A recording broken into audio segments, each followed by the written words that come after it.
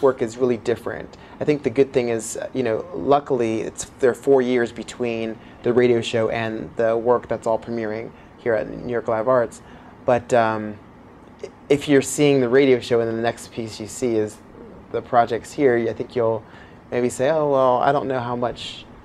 Uh, how different the works are. I think the funny thing for me is really trying to figure out um, how to keep them different, um, but still stay honest to who I am and what I want to be saying.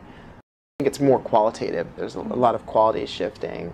Um, and uh, the movement influences are still the same, but I think maybe that maybe uh, because of how I'm interested in, in continuously to, wanting to challenge myself as a mover, um, there'll be more kind of uh, it gets more and more shaken up.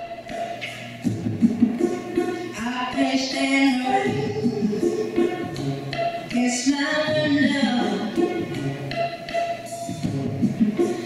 Back sweet memories.